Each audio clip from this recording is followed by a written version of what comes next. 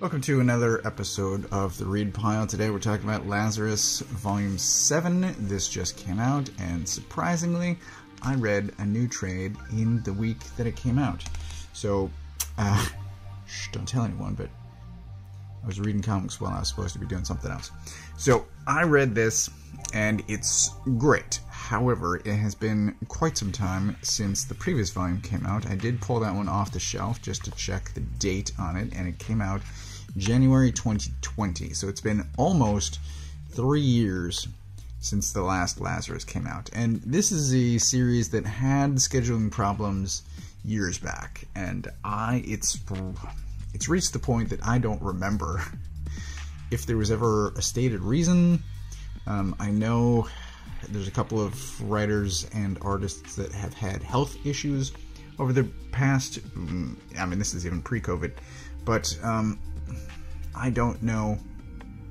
I can't remember if this is a book that had creator health problems or just something else. Um, so I did try a quick search. I couldn't find any stated reason. I feel like this is a book that should have a forward or an afterword explaining something, and it has neither. So, I still have no idea what the status is. This ends in such a way where it could be an ending. I don't think it's intended to be that way. Uh, Rucka has stated that he had a plan, initially 150 issues for this series, uh, that was later revised to a lower number. And I think one of the things that I was just reading, this is unverified, but uh, his plans changed again after the 2016 presidential election. It does feel like the story has shifted in this. Um, specifically, I'm going to point this out real quick too. So I have a bookmark here. I actually have a coloring issue where it's got these big blobs down the center of it. And this is not the only instance of this. It is unfortunate that the first instance of this happens during this powerful, emotionally charged scene, but it does happen a few more times during the rest of this book um, in the same sort of way. It's just blobs down the center, which sucks.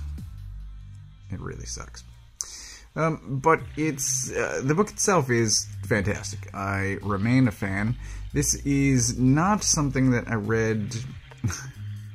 so I just did.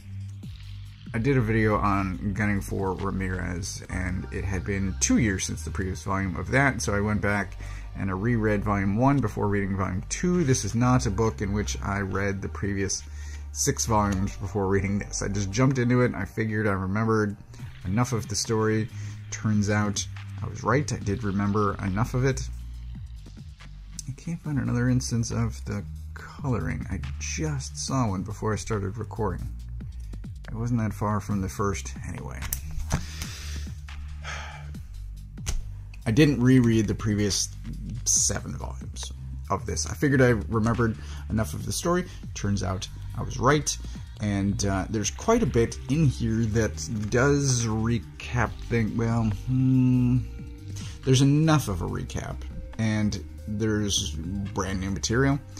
Uh, it starts with a two issue arc of uh, one of the family members and what he's been up to.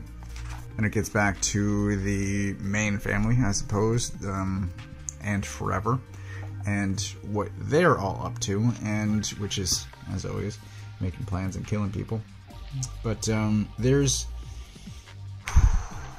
there's a lot of both world history and family history, especially at the end of this. I mean, this is probably the most information that we've gotten about the Carlyle family to date, maybe excluding the supplemental material. But as far as like the comic itself, this is this is a lot, and it's really good.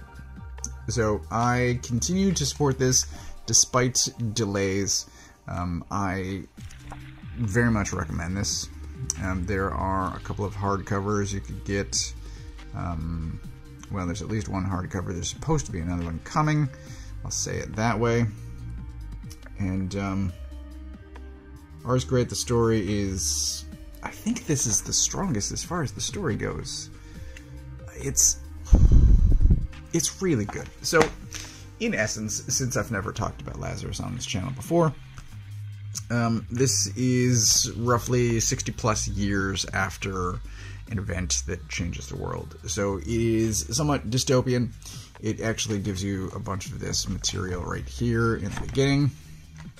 It says something has happened, government's collapsed, everything is now run by a small handful of families around the world. They are in conflict with each other.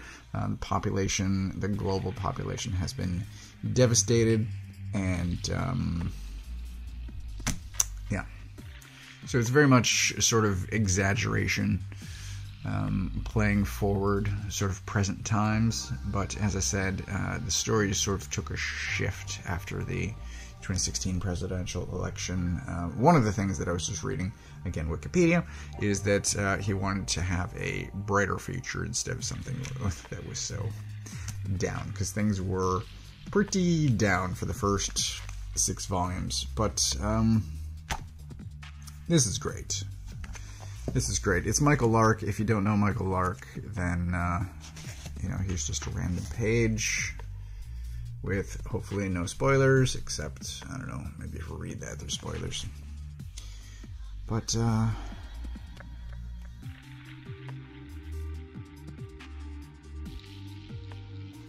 it's great. I loved it. I had a difficult time putting this down once I started, and as I said, I was supposed to be doing, doing something else at the time. So it, um, it was a surprisingly quick read, too. Those first two issues where I was talking about um, one family member. Well, here's a good example. So it's um, not quite silent, but it's certainly less words than there are later in the book. Um, so there's a guy found at sea, and then his recovery. They're speaking Danish, I want to say. And there's a comment about Dutch, and uh, I think he's told that that was wrong. So I believe it's Danish that they're speaking which seems weird. Let me let me just show you this because for those two issues, everything that is said is said twice. I mean, it's it's doubling the amount of work that the letterer is doing for those two issues. It's uh, it's it's a strange choice. I don't know. Anyway, I really enjoyed this. I, despite, as I said, uh, delays in the publication schedule, still recommend this. I will continue to support it, however long it takes to get to volume 8. I will wait, and I will buy it when it becomes available. I guess if and when it becomes available. But uh, this is great. Recommended.